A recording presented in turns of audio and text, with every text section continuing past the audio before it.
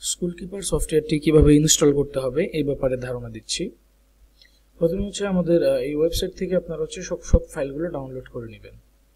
তো ডাউনলোড করলে মূলত আপনার কাছে দুই ধরনের ফাইল আসবে। একটা আসবে হচ্ছে সফটওয়্যারের মেন ফাইল যেটা হচ্ছে স্কুল কিপার আর একটা আসবে হচ্ছে সাপোর্টিং অল সফটওয়্যার অর্থাৎ যেগুলো হচ্ছে supporting software like database SQL server management studio then হচ্ছে রান টাইম যেটাতে রিপোর্ট দেখা যাবে। তো কীভাবে করতে হবে সেটা আমি আপনাদেরকে দেখিয়ে দিচ্ছি। ডাউনলোড করে গেলে আপনারা এভাবে ফাইলগুলোকে রাখবেন। দেন হচ্ছে আমরা প্রথমেই ইনস্টল করব আমাদের কম্পিউটারের বিট অনুযায়ী এসকিউএল সার্ভার তো কম্পিউটারের বিট দেখার জন্য অবশ্যই আপনি এখানে চলে যাবেন। প্রপার্টিজে প্রপার্টিজে গেলে আপনি দেখতে পাবেন বিটগুলো আমি দেখতে পাচ্ছি আমার এটা সিক্সটি ফোর বিটের তো আমি হচ্ছে এসকিউএল সার্ভারটা সিক্সটি ফোর বিটটাই ইনস্টল করব। তো আমরা হচ্ছে নিউ ইনস্টলেশনে ক্লিক করব।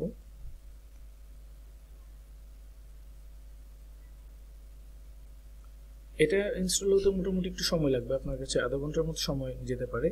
সো আমি ইনস্টল সেন্টার যেটা ইনস্টলেশন সেন্টার যেটা, এটা আমি মিনিমাইজ করে রাখলাম। এখানে আমার পপ আপ হবে এখন আমার পরবর্তী ব্যাপারগুলো।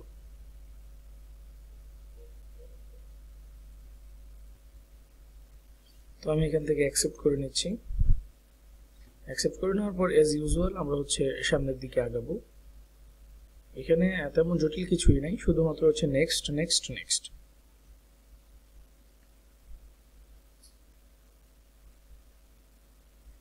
তো এটা আপনার কম্পিউটারের কনফিগারেশনের উপর ডিপেন্ড করবে, যেটা আসলে কত সময় নেবে ইনস্টল হতে। ইউজুয়ালি এটা হচ্ছে আপনার পঁচিশ থেকে তিরিশ মিনিট সময় নেয়।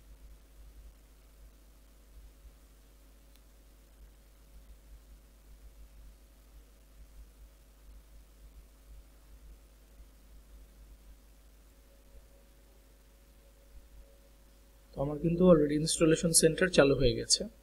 এখানে সবগুলোতে সিলেক্ট দেওয়াই থাকবে। আপনি শুধু নেক্সটে চলে যাবেন। এখানে কিন্তু আপনার স্টেপগুলো দেখাচ্ছে যে আপনি কত নম্বরের স্টেপে আছেন। এখানে কোনো কিছুই খেয়াল করার প্রয়োজন নেই। শুধুমাত্র হচ্ছে ইনস্ট্যান্স কনফিগারেশনের ক্ষেত্রে ডিফল্ট করতে হবে। এছাড়া ইউজুয়াল প্রসেসে এটাকে ইনস্টল করবেন। এই যে এটা হচ্ছে এখানকার এটা যে আপনি এটাকে অবশ্যই খেয়াল করে ডিফল্ট দিয়ে দিবেন। ডিফল্ট দিয়ে আপনি নেক্সটে চলে যাবেন। নেক্সটে চলে গিয়ে হচ্ছে আপনারা আগাতে পারবেন।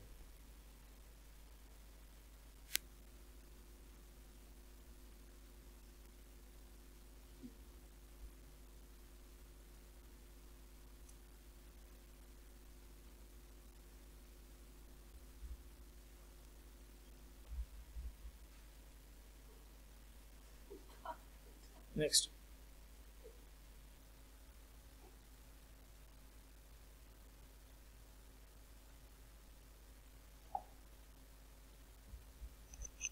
এখন মূলত এটা ইনস্টলেশনের প্রসেসে আছে।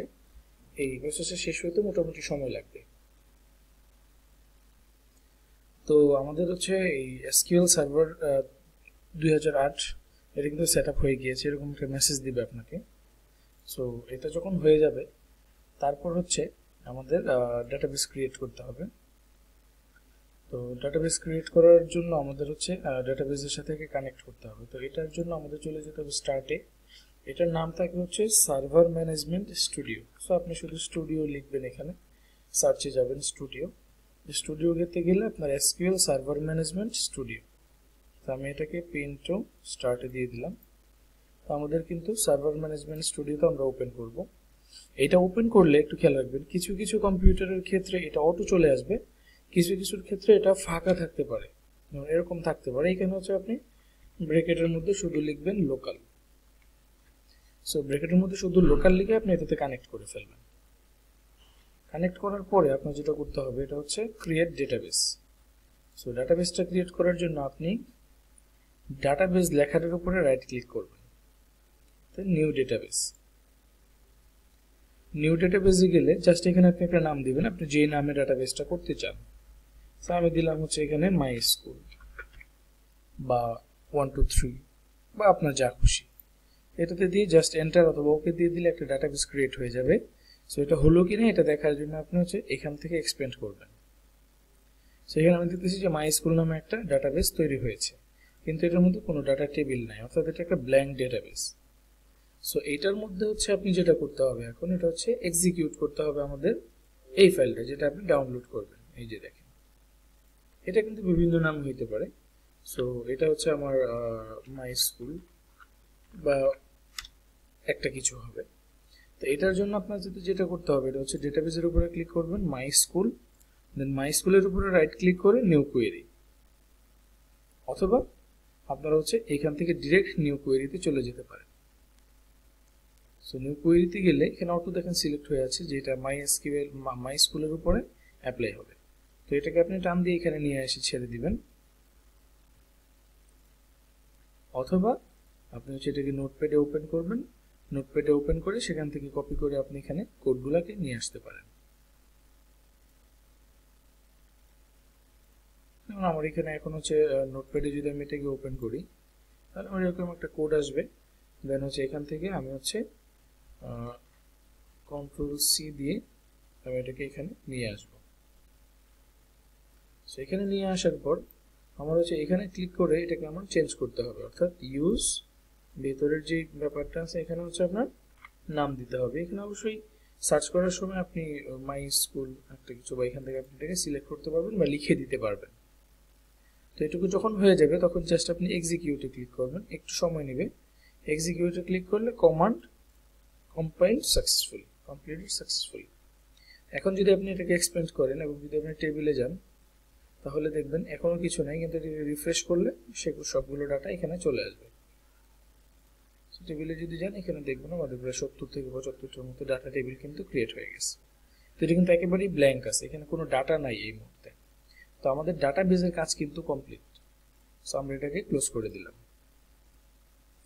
আচ্ছা তারপরে বলছি আমরা যে connect to school keepers file অর্থাৎ এটা হচ্ছে আমাদের স্কুল কিপার সেইখানে গেলে আপনি এরকম ফাইল পাবেন। তো এরকম ফাইল পাবেন, এখান থেকে আপনাকে যেটা করতে হবে ডেটাবেসের সাথে কানেক্ট করতে হবে কানেকশন স্ট্রিং এই ফাইলটার মাধ্যমে। সো এটাকে যথারীতি এডিটে চলে যাবেন? এডিটে চলে গেলে এখানে আপনি কিছু ব্যাপার পাবেন। এখানে হচ্ছে শুধুমাত্র এইটুকুকে আপনাদের চেঞ্জ করতে হবে। অর্থাৎ সার্ভারের নামটা এখানে দিতে হবে যে এক এক পিসির কিন্তু এক এক রকম সার্ভার নেম আসতে পারে। আবারও বলছি, সার্ভার নেমটা কোথায় পাবেন? এই সেকশনটুকু, অর্থাৎ এই ইকোয়েলের পর থেকে এটার আগ পর্যন্ত যে বিষয়টা, এটা আপনি পাবেন হচ্ছে সার্ভার নেম।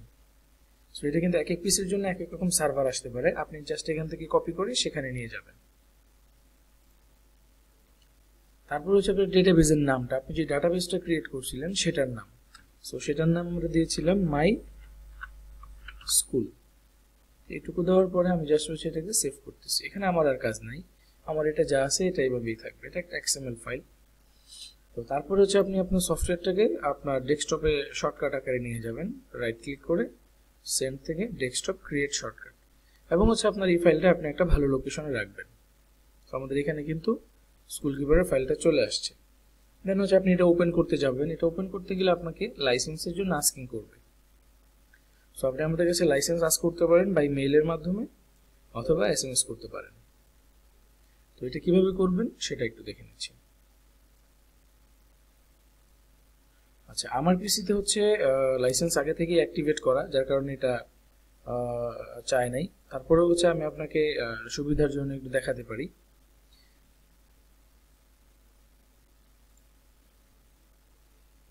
যখন আপনি আবার স্কুল কিপারটা ওপেন করতে যাবেন, তখন আপনার কাছে কিন্তু লাইসেন্স আস্কিং করবে।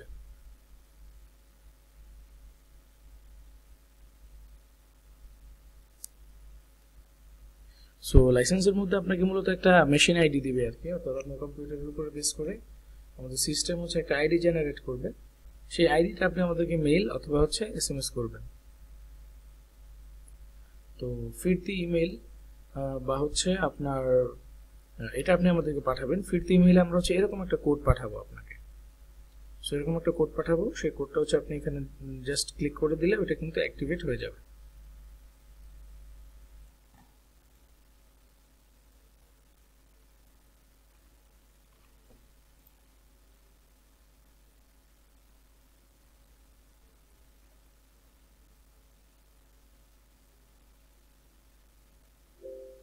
আমাদের কিন্তু লাইসেন্সটা কিন্তু অ্যাক্টিভেট হয়ে গেছে। তো লাইসেন্সটা অ্যাক্টিভেট হয়ে গেলে এখন কিন্তু আমার কাছে আর লাইসেন্স আস্কিং করবে না। কিন্তু এখন যেহেতু সফটওয়্যারটা নতুন, সেহেতু সেই ইউজার অ্যাক্সেস তৈরি করতে হবে আমার। এখানে তিনটা ধাপ আছে। অর্থাৎ প্রথমে আপনাকে আস্কিং করবে যে পারমিশনের জন্য। এগুলোকে আপনি এভাবে এক সাইড করে রাখবেন। যেমন সেট আপ অ্যাডমিনিস্ট্রেটর অ্যাকাউন্ট এটা ওকে দেবেন। তারপরে বলছে সেট আপ ইউজার পারমিশন এটাকে ওকে দিয়ে দেবেন। তো এটাকে ওকে দিয়ে দিলে দেন একটা লগ ইন পেজ আসবে। এটাকে এক সাইডে রাখবেন। সাইডে রেখে সর্বপ্রথম আপনি একটা ইউজার সেট আপ করবেন। যেমন আমি দিচ্ছি অ্যাডমিন পাসওয়ার্ড দিচ্ছি আমি এক, দুই, তিন, চার, পাঁচ। বা আপনি আপনার মতন ইউজার নেম পাসওয়ার্ড দিবেন। আমি আমার ফুল নামটা দিচ্ছি। এটুকু দিয়ে দিলে আপনি হচ্ছে এটাকে সেভ করবেন। তাহলে new record has been edit successfully এখন এইটাকে আবার ক্লোজ করে দিবেন। আবার ক্লোজ করে দিবেন। দ্বিতীয়বার আবার ঢুকবেন। এবার আপনার কাছে দুইটা ধাপ আসবে। অর্থাৎ পারমিশন সেট করতে বলবে এবং লগ ইন পেজ আসবে। তো যথারীতি লগ ইন পেজটাকে আমরা এক পাশে রেখে আমরা হচ্ছে পারমিশন সেট করব। তো এটাকে আমরা একটু দূরে রাখব। দূরে রেখে আমরা হচ্ছে এখান থেকে এই যে আমরা যে একটা ইউজার তৈরি করেছি অ্যাডমিন তো এখান থেকে হচ্ছে আপনি কি কি পারমিশন দিবেন? এই পারমিশনগুলো কিন্তু এখানে রয়েছে পুরো সফটওয়্যারটার তো আপনার যা যা দরকার দিবেন, আমি হচ্ছে এখান থেকে অল ক্লিক করে দিচ্ছি, তাহলে আমার সবগুলোতে সিলেকশন হয়ে গেছে। সো সবগুলোতে সিলেকশন হয়ে গেলে save permission so setting saved এখন যদি আমি হচ্ছে সেম ইউজার নেম পাসওয়ার্ডে লগ করতে যাই, তাহলে কিন্তু আমি লগ করতে পারব। সরি আমি হচ্ছে ওয়ান ফাইভ পর্যন্ত দিয়েছিলাম। তো রিমেম্বার মি দিয়ে দিলাম। সাবমিট দিয়ে দিলে আমরা কিন্তু আমাদের সফটওয়্যারে ঢুকতে পেরেছি। তো যেহেতু আমরা এখানে ঢুকতে পেরেছি, আমাদের বাকি বিষয়গুলো হচ্ছে আপনারা আমাদের টিউটোরিয়াল থেকে দেখে নেবেন। টিউটোরিয়াল সেকশনটা হচ্ছে আমাদের ওয়েবসাইটে গেলেই পাওয়া যাবে। তো আমি মূলত আজকে এই পর্যন্তই আপনাদেরকে দেখাইলাম। এটা কিন্তু খুব বেশি জটিল কিছু না আসলে। তো সাপোর্টিং অল সফটটা হচ্ছে আপনারা ডাউনলোড করে নেবেন দেন ডেটাবেস ফাইলটা ডাউনলোড করে নেবেন এবং স্কুল কিপারের ফাইলসগুলো ডাউনলোড করে নেবেন। তাহলে আশা করি আপনারা কাজ করতে পারবেন। তো ধন্যবাদ ভিডিওটি মনোযোগ সহকারে দেখার জন্য আর স্কুল কিপারের প্রতি আন্তরিকতা প্রকাশের জন্য।